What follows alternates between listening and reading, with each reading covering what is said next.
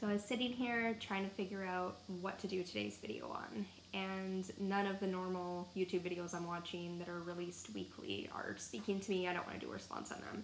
And up in my new feed, news feed comes uh, a TED Talk that looked interesting. I clicked on it.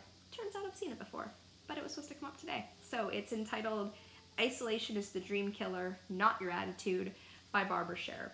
And it talks about how, that it's in the title, how she talks about this guy named Ronnie who is just a really unlikable human, but this group helps him find an apartment and a girlfriend, of course, changes his life.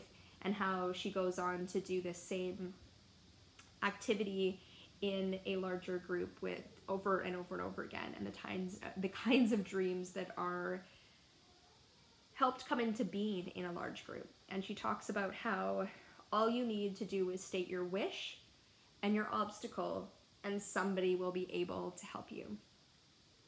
And I love that, and I realized even back when I first saw this video, what I wanted to do is create an app with that. And that's my wish. My wish is always, can we create an app that we all own together that society can focus on? And if, if we created such an app that helps people focus on like a Pinterest, but actually helps your dream come true. Here is my wish, here is my obstacle and other people hear that and and problem solve a solution for you. Just that would help change humanity in so many ways. And i've seen that happen online again and again where someone's having a rough time and somebody has the solution.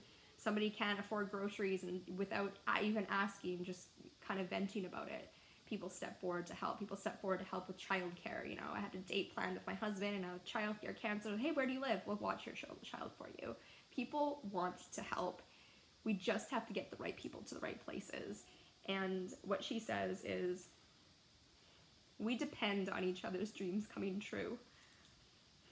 When your dream comes true, when somebody else's dream comes true, it echoes into the world in a very particular, wonderful way.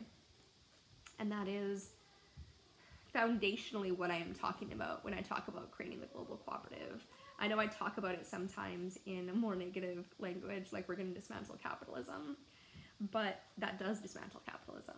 It's based on having people have unfulfilled wish- wishes and obstacles they can't surmount and have to pay money to surmount and have to like fill holes and voids in their in themselves. The cats are not listening to not to not interrupting. And so that's today's video. I I'm still the focus is on creating the conversation app because from the conversation app, all of these things can take place. But creating a wish obstacle app so that we can help each other's dreams come true would be amazing. Anyone want to do it? I'm all for it. Take my idea and run with it. Please like and subscribe.